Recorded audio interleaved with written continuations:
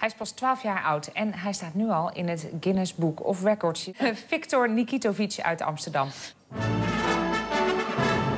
Nee, dit is hem niet. Maak eerst kennis met Niels Duiker. Ook hij staat in het boek, maar dan met dit record.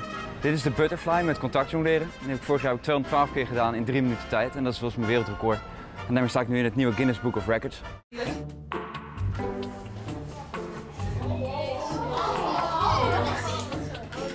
Goedemiddag. Waar is Victor Nikitovic? Jongens en meisjes, dit is het nieuwe Guinness Book of Records 2014. En Victor, daar sta jij in. En ik heb de eer. Kom maar naar voren.